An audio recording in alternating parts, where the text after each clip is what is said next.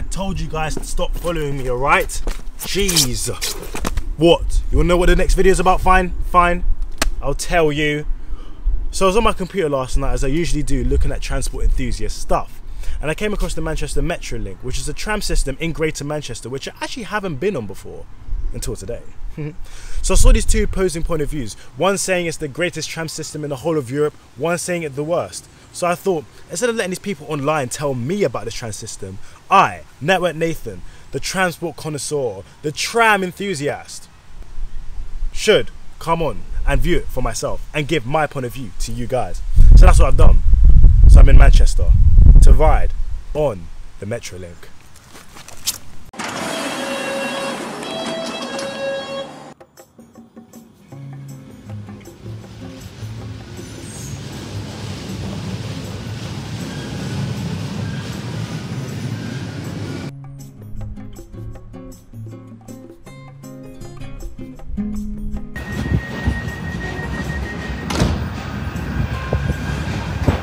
Thank you.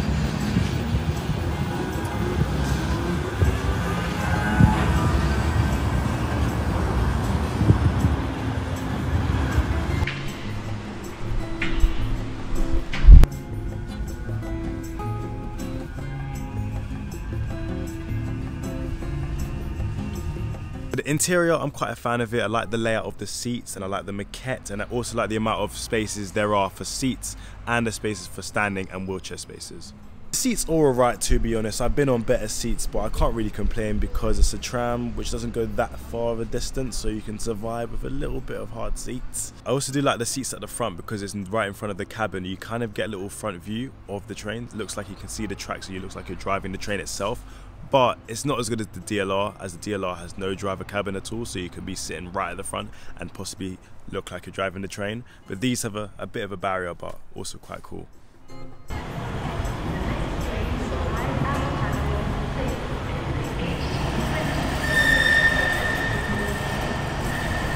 I'm quite a fan of the exterior myself to be honest with you. It has the yellow and the grey which I'm quite a fan of and they're quite sleek tram trains with them being the Bombardier M5000 first being introduced on these lines back in 2009.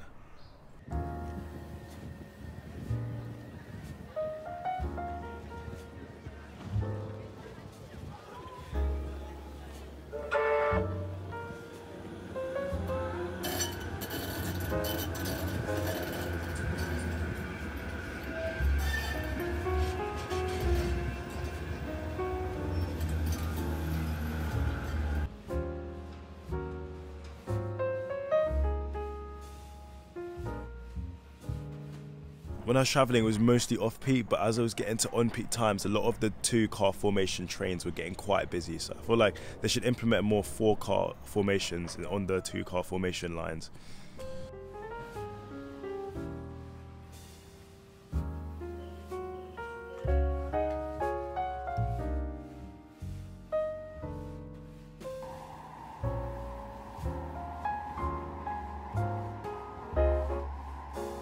I won't lie to you.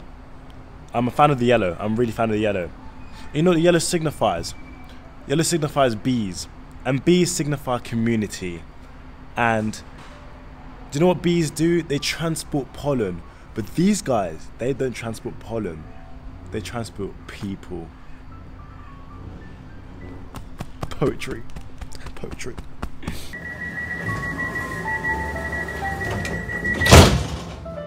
The train frequency for each line specifically is supposed to be 12 minutes, but as some sections of track run alongside other lines, those sections of tracks have a higher frequency because there's two different lines running alongside each other. For example, the MediaCity to Ashton under Lyne line.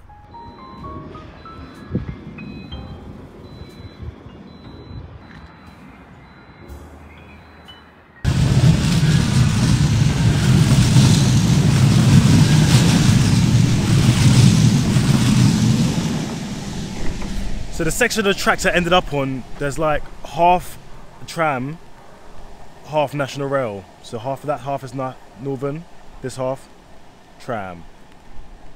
And now it's raining.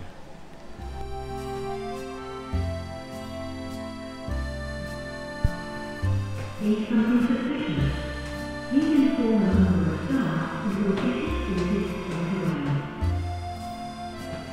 The ticket I bought was an off-peak zone 1 to 4 ticket, which cost about £4.90, which isn't terrible in price. Um, I got to travel a lot of the system, so it was quite cool. But it has a similar ticket system to London, where they have zones 1 to 9, where as you travel through more zones, you pay an extra price.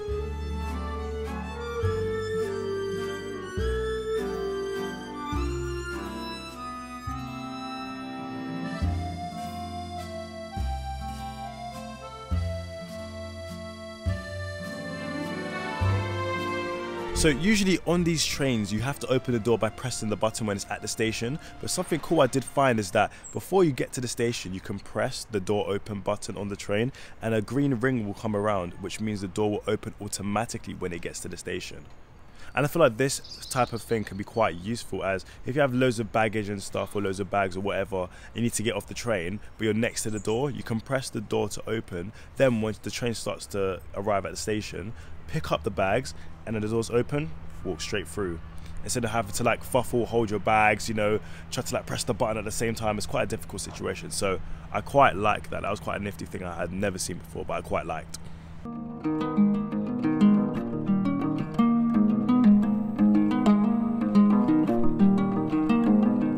I never said this before, but I'm a really big fan of like the yellow, the yellow everything, the yellow grab holes, yellow, Yellow. Just yellow.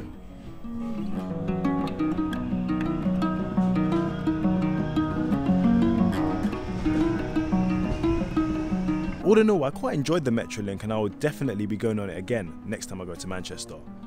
Would I say it's the best tram system that I've ever been on? Oh, I don't know. The Croydon tram system is quite a good contender. They have positive and negatives to each other, so it's, it's kind of hard to weigh up. But I do have to say, the main feature I did like about the Metrolink was the button that you pressed before the doors open, so the doors open automatically. That is very nifty. Everybody else, take notes.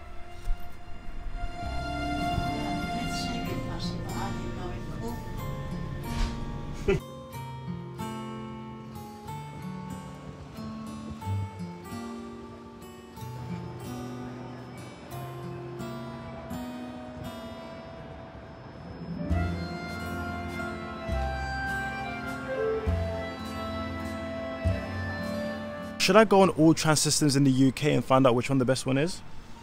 That'd be quite a smart video idea. Anyways, thanks for watching, and I'll see you in the next one.